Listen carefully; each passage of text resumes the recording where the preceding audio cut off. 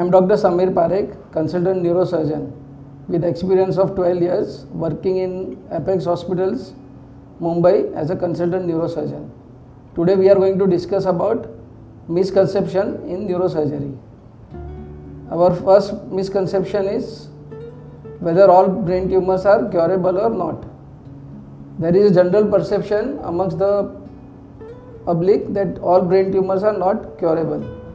There are brain tumors which arise from the covering of the brain or from the pituitary gland which are benign in nature.